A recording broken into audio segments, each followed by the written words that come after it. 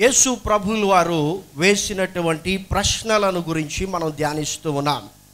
మతైసు వార్త ఇరవై మూడవ అధ్యాయము పదిహేడవ వచనంలో యేసు ప్రభువులు వారు ఈ విధముగా ప్రశ్నిస్తూ ఉన్నారు. అవివేకులారా అంధులారా ఏది గొప్పది? బంగారమా? బంగారమును పరిశుద్ధపరచు దేవాలయమా?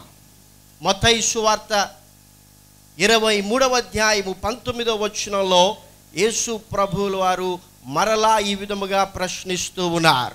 అవివేకులారా అంధులారా ఏది గొప్పది? అర్పణమా? అర్పణమును పరిశుద్ధపరచు బలిపీఠమా? నేడు క్రైస్తవ సమాజంలో చాలామంది అవివేక స్థితిలో ఉన్నారు. చాలామంది క్రైస్తవులు అంధులుగా ఉన్నారు.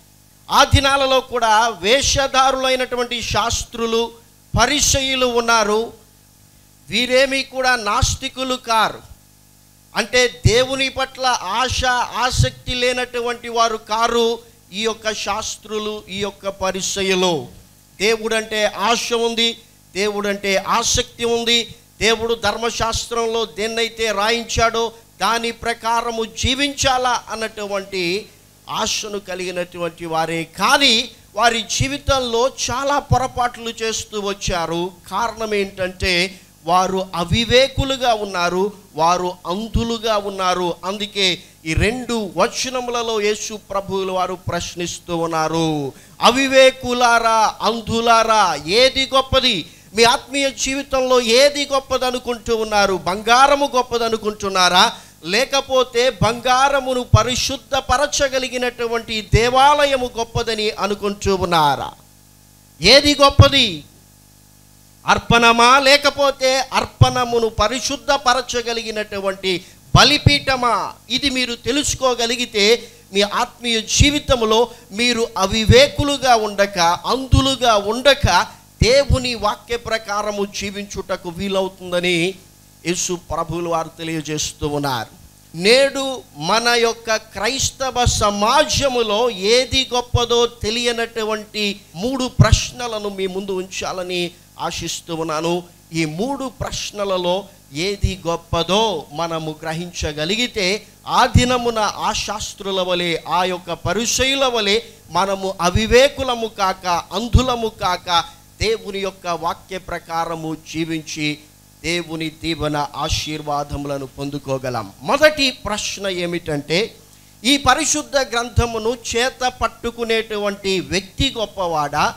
లేకపోతే ఈ పరిశుద్ధ గ్రంథంలో రాయబడినటువంటి దేవుని వాక్య ప్రకారము జీవించేటువంటి వ్యక్తి గొప్పవాడా?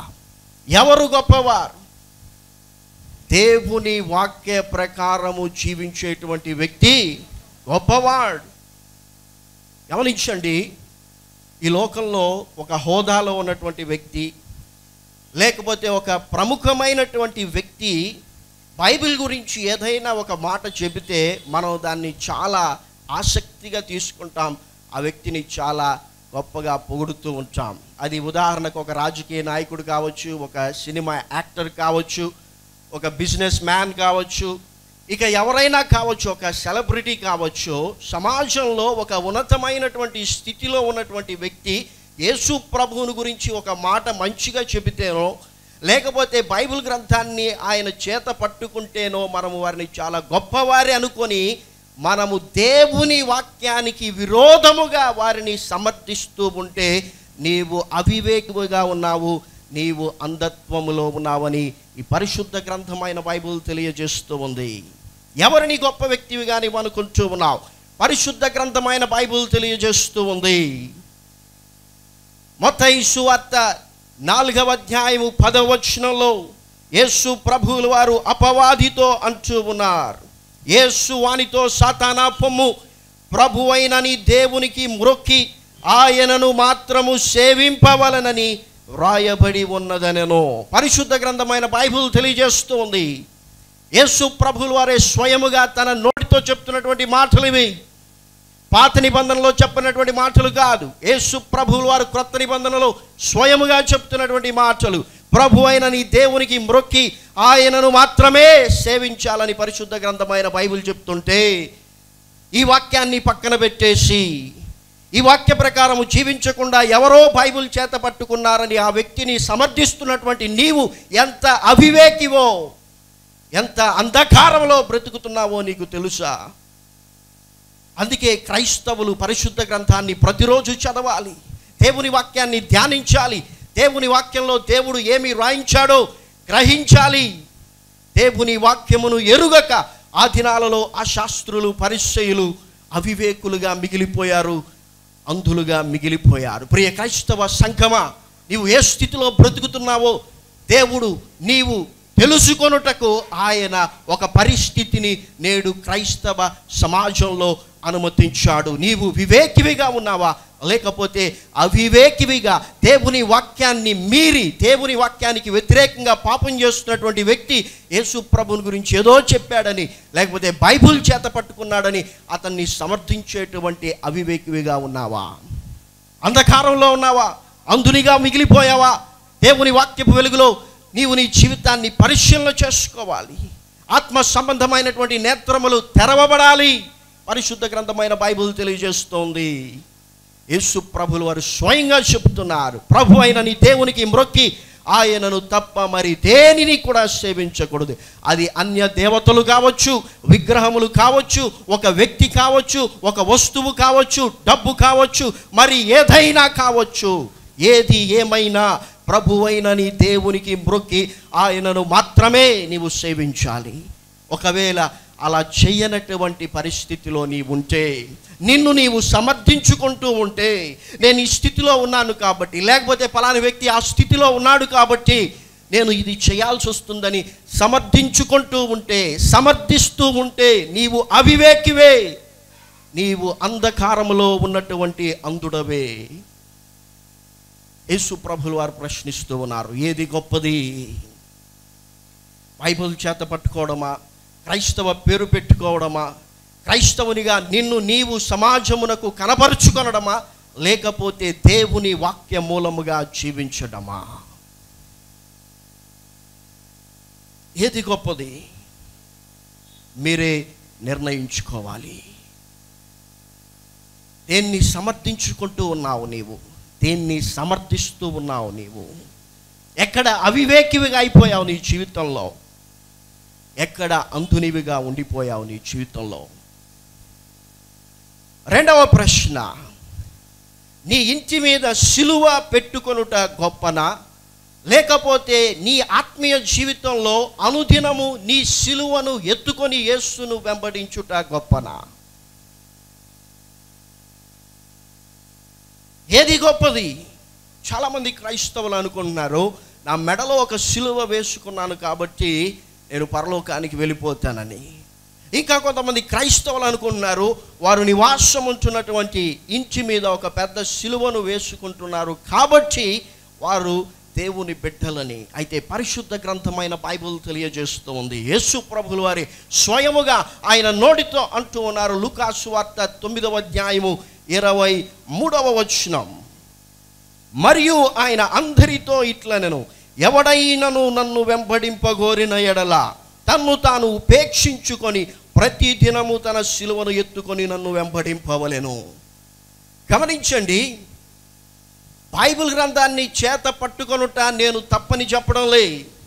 నీ మెడలోనో నీ ఇంటి మీదనో శిలువ వేసుకొనుట తప్పని కూడా నేను చెప్పడం లే.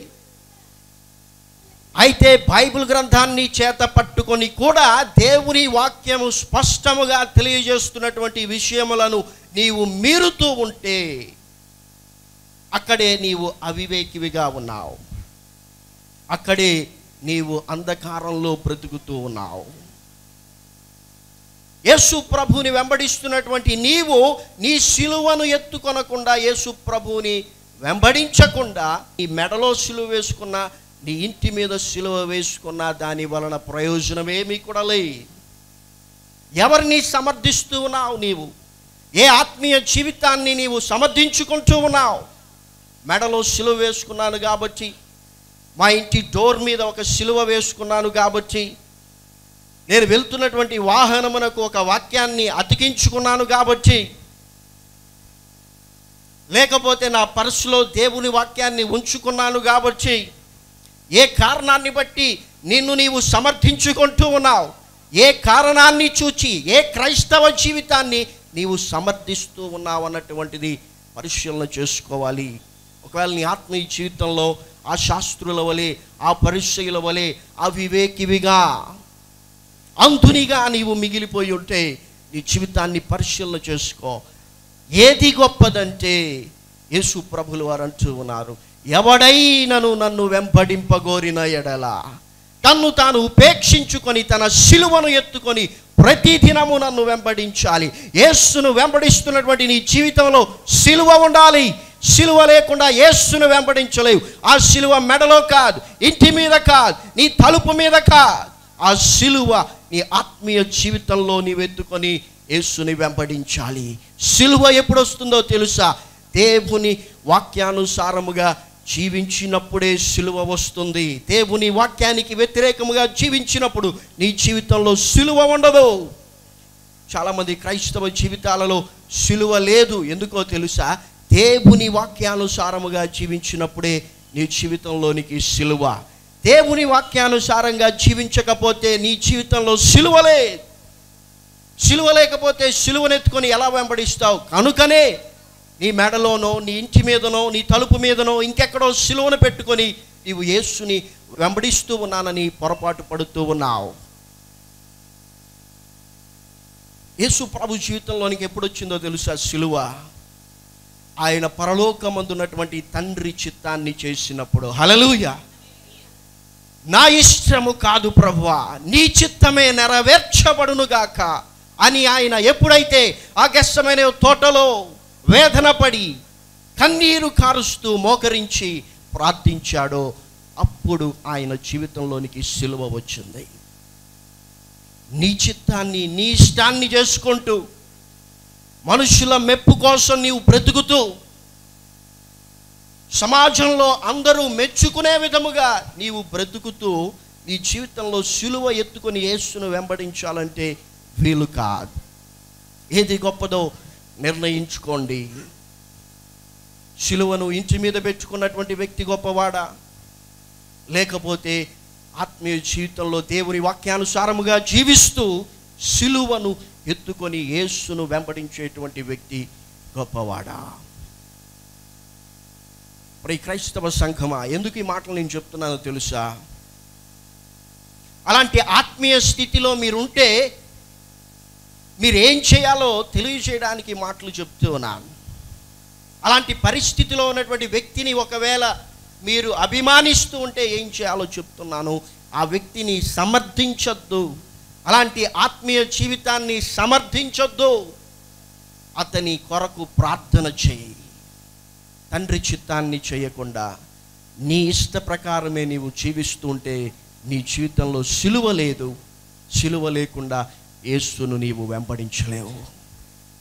యేసును నమ్ముకున్నానని నీవు సాక్ష్యము చెప్పినటువంటి ప్రతిసారి కూడా ఈ లోకము నిన్ను ద్వేషిస్తుంది. హలలుయ నీవు నిజమైన క్రైస్తవుడివైతే లోకము చేత నీవు ద్వేషించబడాలి. నేను చెప్తున్నటువంటి మాటలు కాదు.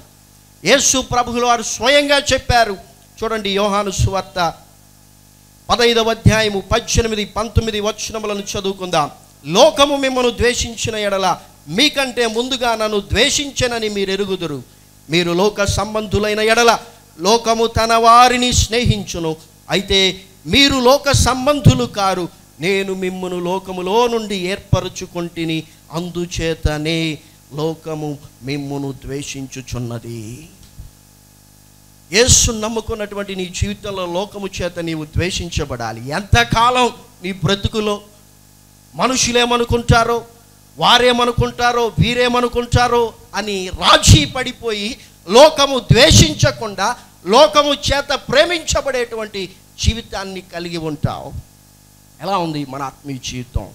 ఏది గొప్పదని మనం పొరపాటు పడుతున్నాం. సమాజంలో బ్రతుకుతున్నాం కాబట్టి ఈ లోకంలో ఉన్నాము కాబట్టి లోకంలో ఉన్నటువంటి అందరి చేత మంచి వ్యక్తివిగా పొగడించుకొనడం గొప్పది అనుకుంటూ ఉన్నావా? లేకపోతే దేవుని వాక్య ప్రకారము జీవించినప్పుడు లోకము చేత ద్వేషించబడేటువంటి జీవితము గొప్పదనుకుంటూ ఉన్నావా? ఏ జీవితాన్ని సమర్థిస్తూ ఉన్నావు? అవివేకివిగా ఉన్నావా? అంతునిగా ఉన్నావా? నీ జీవితంలో పరిశీలన చేసుకోవాలి. మూడవ ప్రశ్నను మనం చూసినట్లయితే నీ కొరకు సిలువ వేయబడినటువంటి యేసు గొప్పవాడా? లేకపోతే మరలా మరలా దేవుని వాక్యానికి వ్యతిరేకంగా జీవిస్తూ యేసు ప్రభువుని సిలువ వేస్తున్నటువంటి వ్యక్తి గొప్పవాడా? ఎవరిని గొప్ప వ్యక్తివిగా నీవు అనుకుంటూ ఉన్నావు? ఎవరిని సమర్థిస్తూ ఉన్నావు? క్రీస్తును సమర్థిస్తూ ఉన్నావా? లేకపోతే క్రీస్తును మరలా మరలా బాహ్యముగా అవమానపరుస్తూ సిలువ వేస్తున్నటువంటి వ్యక్తిని లేకపోతే ఆ జీవితాన్ని సమర్థిస్తూ ఉన్నావా? యేసు ప్రభువులు వారు నిన్ను రక్షించడానికి ఆయన సులువ మీద మరణించాడు. అయితే పరిశుద్ధ గ్రంథమైన బైబిల్ తెలియజేస్తోంది నిన్ను రక్షించడానికి శిలువపై మరణించినటువంటి యేసుక్రీస్తునే మరలా నీ జీవితంలో యేసును శిలువ వేసేటువంటి పరిస్థితి ఉంది. అది ఎప్పుడో చూడండి దేవుని వాక్యం తెలియజేస్తుంది. హెబ్రిల్కు రాసినటువంటి పత్రిక ఆరవ అధ్యాయము నాలుగు ఐదు ఆరు వచనములను చదువుకుందాం. ఒకసారి వెలిగింపబడి పరలోక సంబంధమైన వరమును రుచి చూచి పరిశుద్ధాత్మలో పాలివారై దేవుని దివ్యవాక్యమును రాబోవు యుగ సంబంధమైన శక్తుల ప్రభావమును అనుభవించిన తరువాత తప్పిపోయిన వారు తమ విషయములో దేవుని కుమారుని మరలా సిలువ వేయుచు బహాటముగా ఆయనను అవమానపరచుచున్నారు. గనుక మారు మనస్సు పొందునట్లు అట్టి వారిని మరలా నూతన పరచుట అసాధ్యము. యేసు ప్రభువుని స్వంత రక్షకునిగా అంగీకరించినటువంటి తరువాత ఆ రక్షణ అనుభవం పొందుకున్నటువంటి తరువాత ఫలానిది పాపమని తెలిసినా ఫలానిది పరిశుద్ధ గ్రంథం ఒప్పుకోదని తెలిసినా దేవుడు ఫలాని దాన్ని అసహించుకుంటాడని ఎరిగి ఉన్నా దానిని తిరిగి చేస్తూ ఉంటే పరిశుద్ధ గ్రంథమైన బైబిల్ తెలియజేస్తూ ఉంది. నీవు యేసు ప్రభువుని బాహాటముగా అవమానపరుస్తూ ఉన్నావు. అంత మాత్రమే కాదు యేసు ప్రభుని మరలా సిలువ వేస్తూ ఉన్నావు. ఆ స్థితిలో ఉండిపోయావా? లేకపోతే అలాంటి స్థితిలో మిగిలిపోయినటువంటి వ్యక్తిని అభినందిస్తూ ఉన్నావా? సమర్థిస్తూ ఉన్నావా? ఏంటి నీ ఆత్మీయ జీవితంలో పరిస్థితి? ఎందుకు నేడు ఈ పరిస్థితి వచ్చిందో తెలుసా? ఆత్మీయ జీవితంలో తెలుగు క్రైస్తవులు ఏ పరిస్థితిలో ఉన్నారో అవివేకులుగా ఉన్నారో లేకపోతే అందులుగా ఉన్నారో తెలుసుకొనుటకు దేవుడు అనుమతించాడు. ఒకవేళ నీవు వివేకివైతే ఒకవేళ నీ ఆత్మ సంబంధమైనటువంటి నేత్రములు తెరవబడి ఉంటే నీవు ఆ స్థితిని బట్టి పశ్చాత్తాపపడాలి. ఆ స్థితిలో ఉన్నటువంటి వ్యక్తిని అభినందించుట కాదు సమర్థించుట కాదు కానీ ఆ వ్యక్తి పైన నీకు అభిమానం ఉంటే ఆ వ్యక్తి కొరకు నీవు ప్రార్థన చెయ్యాలి. ఆ వ్యక్తి మరలా యేసు ప్రభువుని బాహాటముగా అవమానపరచకుండా మరలా యేసు ప్రభువుని సిలువ వేయకుండా బైబిల్ని మాత్రమే చేత పట్టుకొనుట కాదు. దేవుని వాక్యంలో రాయబడినటువంటి ఆ వాక్య ప్రకారము జీవించాలని ప్రార్థన చేయాలి.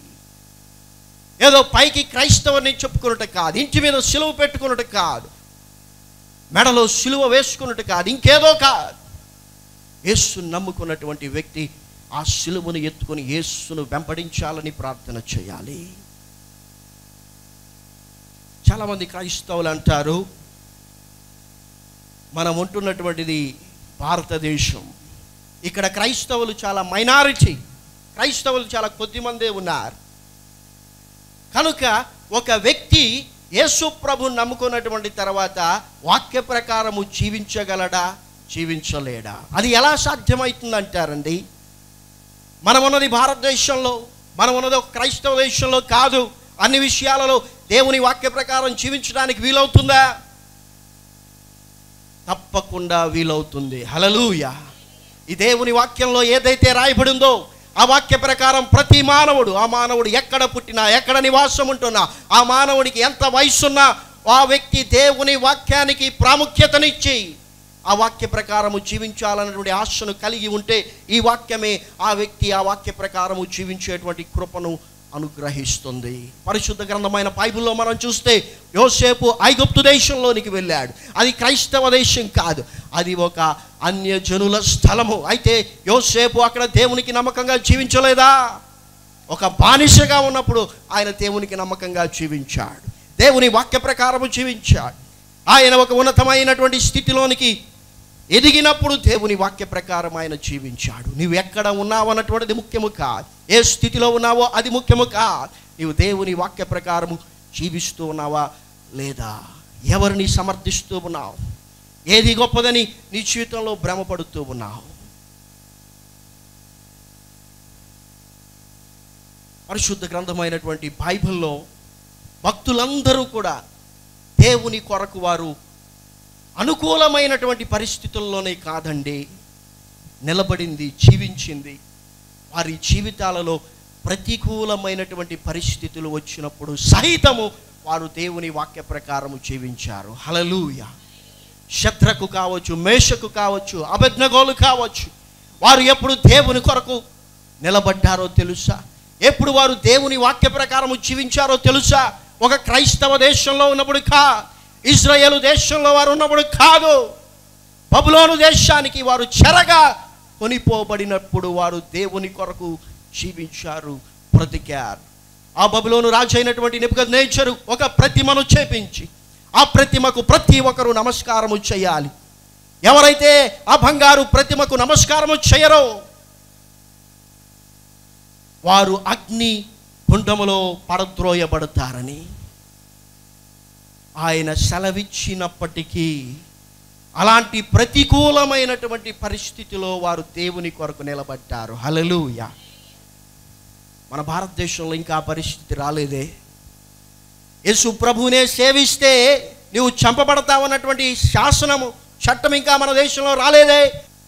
శద్రకు మేషకు అభిజ్ఞగోళ్ళు అగ్నిగుండములో పరద్రోయబడతారని ఎరిగినప్పటికీ వారు ఒకటే అన్నారు రాజు అయినటువంటి నెబుగదనేశ్వరు ఇదిగో నీతో ఒకే మాట చెప్తూ ఉన్నాం. నీవు చేయించినటువంటి బంగారు ప్రతిమకు ఏ- ఏది ఏమైనా కూడా మేము నమస్కారము చేయము పూజింపము. హలలుయ అగ్నిగుణంలో వేస్తావా? పర్లేదు ప్రాణాలు పోతాయా? పర్లేదు ఒకవేళ మా దేవుడు మమ్మల్ని రక్షించదలిస్తే ఆయన రక్షించవచ్చు. ఆయన రక్షించకపోయినా పర్లేదు ఈ దేవుని వాక్య ప్రకారం మేము జీవిస్తాం. బబిలోను దేశంలో ఇస్రాయేల్ దేశంలో కాదు. క్రైస్తవ దేశంలోనే కాదు. నీవు ఎక్కడ ఉన్నా ఏ స్థితిలో ఉన్నా దేవుని వాక్య ప్రకారము నీవు జీవించాలి. దానియలు జీవితంలో కూడా అంతే కదా. ఆయన కూడా చెరగా కొనిపోబడినటువంటి ఆ దినములలోనే కదా. దేవునికి ప్రార్థన చేసి దేవుని వాక్య ప్రకారము జీవించింది. అక్కడ కూడా రాజు ఒక శాస్త్రము మీద సంతకము చేశాడు. ఏంటంటే ఏ మానవుడు కూడా ఏ రాజును కానీ ఏ మానవుణ్ణి కానీ ప్రార్థన చేయకూడదు. అయితే దానియేలు యథాప్రకారము ఆయన తన మేడగదిలోనికి వెళ్ళి ఆయన దేవుణ్ణి ముమ్మారు ప్రార్థిస్తూ కీర్తించాడు స్తుతించాడని దేవుని వాక్యం తెలియజేస్తుంది. హలలుయ ప్రతికూలమైనటువంటి పరిస్థితుల్లో అండి క్రైస్తవులు మైనారిటీగా ఉన్నప్పుడు జరిగింది ఇది. అందరూ క్రైస్తవులై ఉన్నప్పుడు కాదు. దానియేలు ఒక్కడే శత్రకు మేషకు అభిజ్ఞగోళ్ళు ముగ్గురే అక్కడ యోసేపు ఒక్కడే ఐగుప్తు దేశంలో. అందరూ దేవుణ్ణి వ్యతిరేకిస్తున్నటువంటి దినాలలో దేవుణ్ణి అంగీకరించినటువంటి ప్రజల మధ్యలో వీరు దేవుని వాక్యానుసారంగా జీవించారు. ఆ పరిస్థితులలో దేవుని కొరకు నిలబడ్డారు వీరు. అవివేకి అంధుడా నీ స్థితిలో నుండి బయటికి రా. దేవుని వాక్యము వలన వివేకమును పొందుకో. దేవుని వాక్యపు వెలుగు వలన నీ యొక్క ఆత్మ సంబంధమైనటువంటి గురుడితనమును బాగు చేసుకో. అందుకే యేసు ప్రభువుల వారు అదే మొత్తైసు వార్త ఇరవై మూడవ అధ్యాయంలో అంటూ ఉన్నారు మీరు పరలోకంలో ప్రవేశింపరు ప్రవేశించే వారిని కూడా ప్రవేశింపనియరు. ఎంతమంది క్రైస్తవులు ఈ స్థితిని కలిగి ఉన్నారు? నీవు పరలోకానికి వెళ్ళకుండుట మాత్రమే కాకుండా వెళ్ళేటువంటి వారిని సహితము వెళ్ళనీయకుండా చేస్తున్నటువంటి క్రైస్తవ జీవితాలు ఎన్నున్నాయి? మన జీవితాలను పరిశీలన చేసుకోవాలి. ఒకవేళ నీవు అవివేకివైతే అంధునివైతే నీ జీవితంలో గుర్తించాలి. నీవు పరలోకానికి వెళ్ళకుండా ఉండుట మాత్రమే కాదు. నీతో పాటి వెళ్ళగలిగినటువంటి వారిని వెళ్తున్నటువంటి వారిని సహితము వెళ్ళనీయకుండా చేసేటువంటి దౌర్భాగ్య స్థితిని నీవు కలిగి ఉన్నావు. కనుక దేవుని వాక్యాన్ని చదవాలి దేవుని వాక్యపు వెలుగులో చూడాలి ఏ విషయాన్నైనా. మనకు నచ్చినట్లు కాదు. కనుక మన జీవితాల్లో దేవుని వాక్యపు వెలుగులో పరిశీలన చేసుకుందాం. దేవుని వాక్య ప్రకారము జీవిద్దాం.